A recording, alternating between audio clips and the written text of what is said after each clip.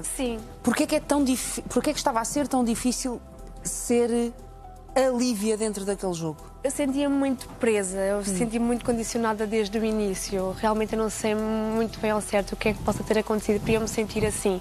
Eu acho que foi toda a, pressão em si. Eu ia Hum. com muita expectativa, eu sempre acompanhei reality shows. Adoro. Eu cá fora vibrava muito. Ai, eu lá dentro vou ser assim, lá dentro vou ser assado. E eu realmente, se calhar também ficou tanta essa pressão em mim que realmente não me consegui soltar Sim. Até não ao se arrependeu 100%. até agora ter saído. Como eu estou muito cansada, foi assim uma semana muito complicada comigo mesma também.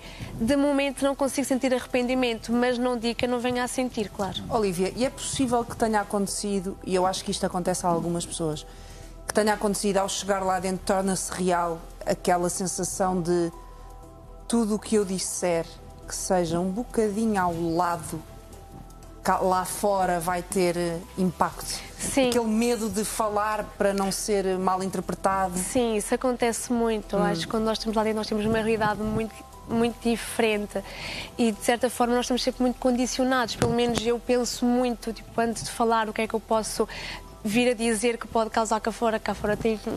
Assim, Sim, tem um uma impacto grande, é? enorme, Impacto um impacto gigante. De uma certa forma isso condiciona-nos um bocado. Então também foi uma das coisas pela qual eu parecia que não me conseguia soltar porque eu pensava se calhar vou dizer aquilo depois vou ficar mal vista. Foi, também me condicionou um bocado